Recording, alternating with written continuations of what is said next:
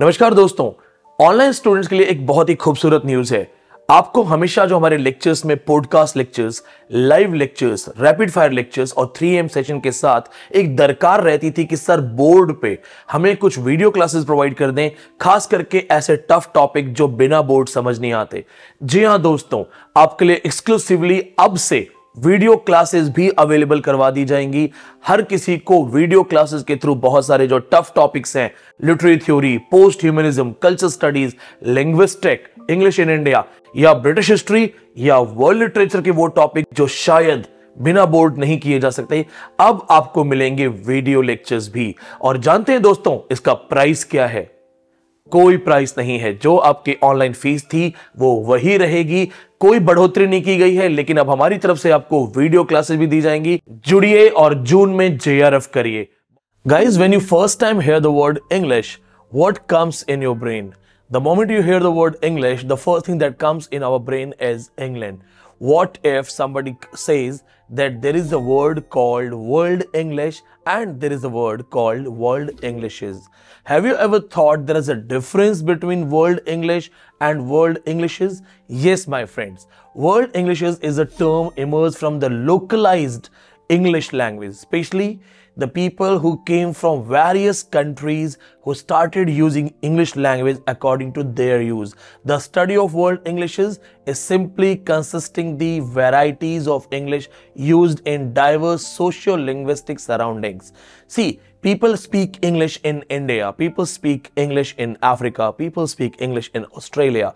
But are we speaking the same British accent? Are we speaking those exact standards of language or we have Indianized language. We call it Butler English that started in Madras Presidency or we call it Babu English. If you remember, Nissim Ezekiel wrote a famous work Miss Pushpa TS, Goodbye Party to Miss Pushpa TS, which actually mocks the Babu English.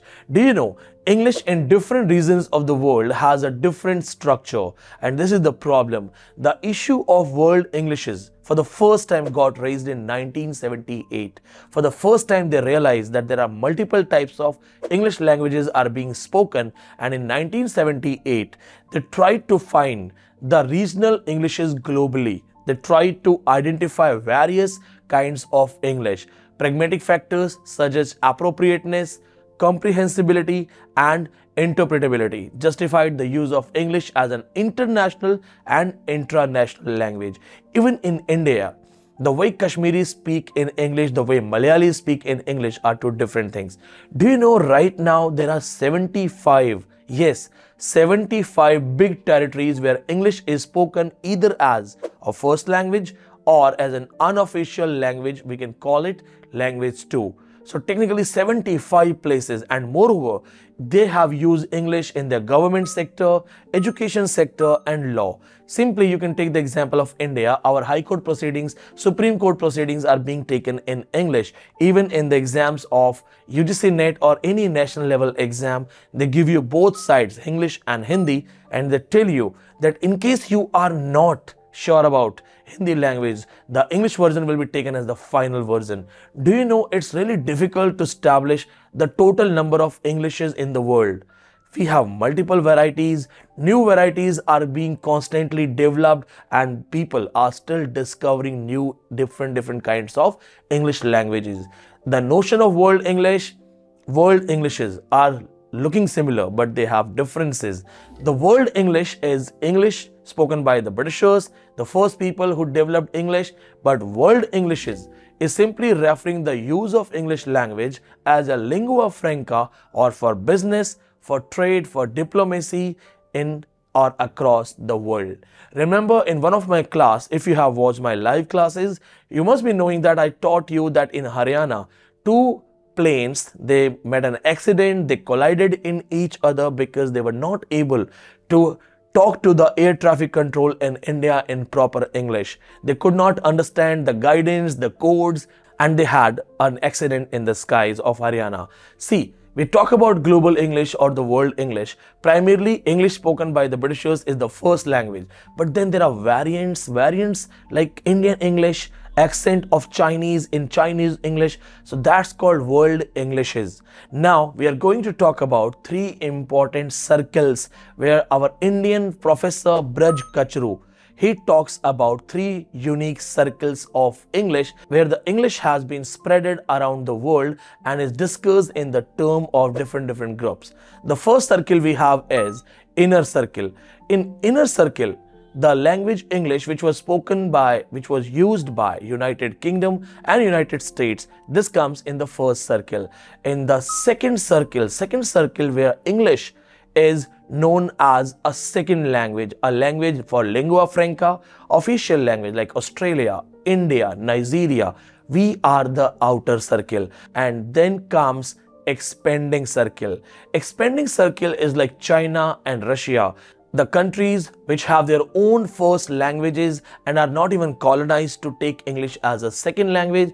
Their first language is their own lingua franca, but they are just understanding it, just using it to be in the part of modern day business, modern day trades.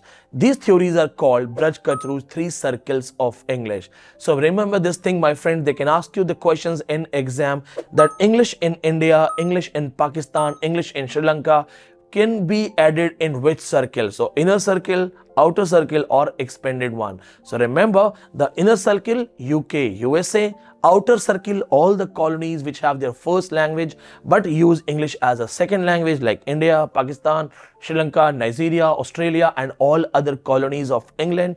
And the third circle is expanding circle where English is being expanded to Russia, China, Japan and other countries where primarily neither they were the slave of England nor they use English as a second level circle language. In short, Make sure you remember three different circles. The concept is by Braj Kachru, which is studied in the first diaspora reference.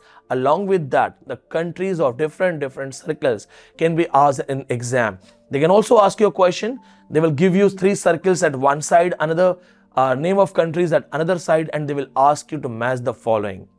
For more details, you can also write down this thing that the total number of English speakers in the inner circle is 380 million and out of those 120 million are from United States only. In outer circle as the language has become the part of the law, part of the education, higher education, national commerce and business, the number is more as our Indian population, South Asian population is more than USA population and UK population. And moreover, again, it is not 100% confirmed that how many people in India, Kenya, Malaysia, Pakistan, Africa, Philippines, all those which were colonized by UK or US, how many of those people they speak, but still it is believed that from 150 million to 300 million people speak English in outer circle.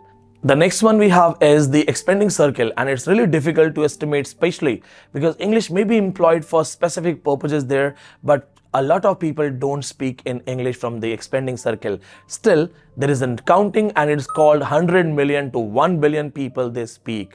Remember this thing, they may ask you a question that which circle of English is the norm providing circle. Remember the inner circle is the norm providing system means the rules, regulations, grammatical structure comes from UK and USA. So they are the norm providing circle of inner circle English. Make sure you note down all these details and this is how you'll be prepared for your exam the idea by Braj Kachru, the concept of World English, World Englishes, and the norm providing system. Because we have one circle which is norm providing, another circle we have is norm developing, and then the expanding circle which means norm dependent. So be ready for your exam, and if you love the content, if you love this, you got a lot of knowledge, like it, share it, subscribe, and share in your comments. Thank you so much.